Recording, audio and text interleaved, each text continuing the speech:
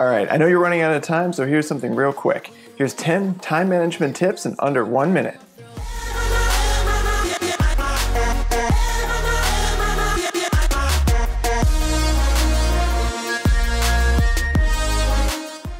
All right, start the clock.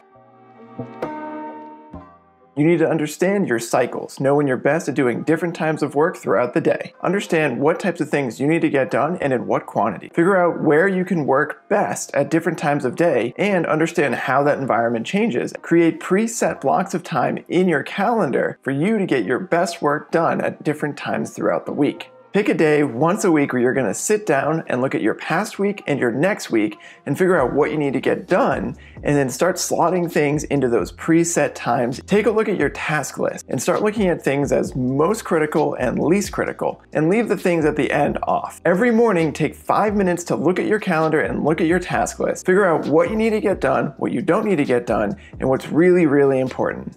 Take a look at the things that are manual or repetitive. You might be able to delegate those or automate them so you don't ever have to do them again. Things don't always work out the way you want them to. Go with the flow sometimes. Plan unplanned time. That's time to go hiking, play with your kids, do fun things. Just have fun.